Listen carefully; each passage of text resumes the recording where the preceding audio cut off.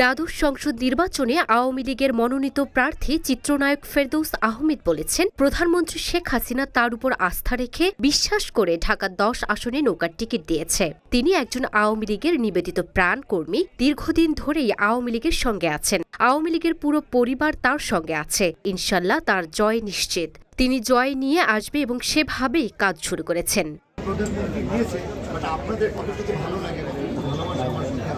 সেটা কিন্তু ভোট দিলে আমি বুঝতে পারব। এবং আমার যতটুকু সম্ভব, ততটুকু দিয়ে আমি আপনাদের পাশে থেকে আপনাদেরকে ভালোবেসি আপনাদের।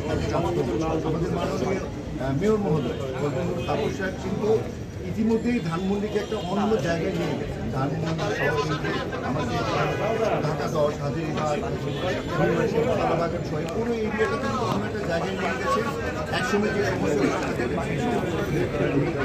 তারপরে যে ব্যাপারগুলো আছে, সেগুলি কাজ করব।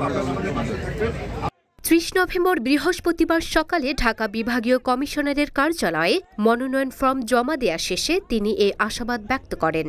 প্রত্যেককে ভোট কেন্দ্রে আসতে হবে যাচাই বাছাই করে পছন্দের মানুষকে ভোট দিয়ে নির্বাচিত করতে হবে। প্রধানমন্ত্রী আমাকে মনোনয়ন দিয়েছে কিন্তু আপনারা আমাকে কতটুকু ভালোবাসেন কতটুকু ভালো লাগে তা কিন্তু ভোটের মাধ্যমে বুঝতে পারব বলেন আওয়ামী লীগ থেকে মনোনীত এ প্রার্থী। রুনা ফ্রুসনিপা ঢাকা পোস্ট।